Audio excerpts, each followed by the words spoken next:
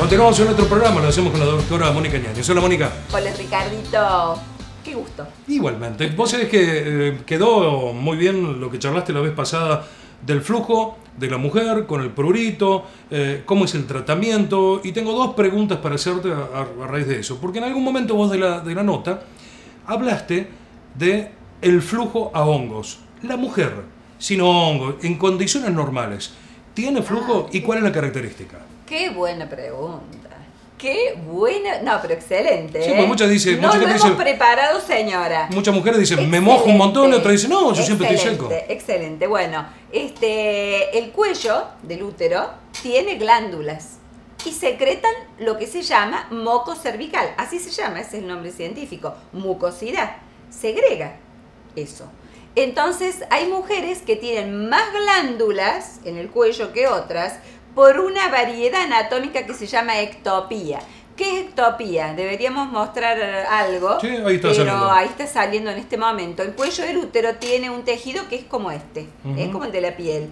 Y hay un orificio que lo están viendo ahí en la pantalla, en el cuello del útero, y adentro de ese orificio hay glándulas con un tejido que se llama endocervical, que es como la mucosa bucal.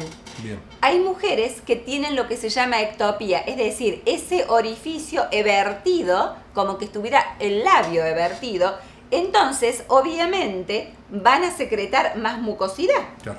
¿Me entendés? Y, todo el tiempo. Y Pero no- eso es normal para esa mujer, pero no es anormal en general. para esa mujer que tiene esa ectopía y que siempre está húmeda, pero no tiene olor, no está sobreagregado con ningún germen, ni con hongos, ni parásitos, ni bacterias, y no tiene olor ni pica, no tiene ningún síntoma, pero está húmeda.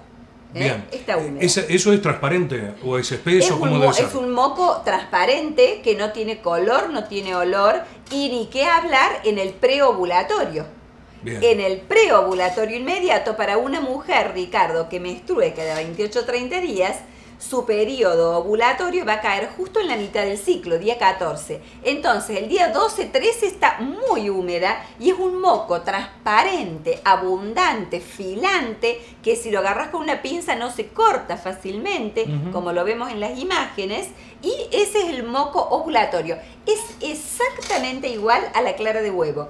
Por eso las personas que desean embarazarse, que tienen que buscar los días fértiles, les aconsejamos los ginecólogos que eh, se fijen en estas características para obviamente aumentar su poder de fertilidad.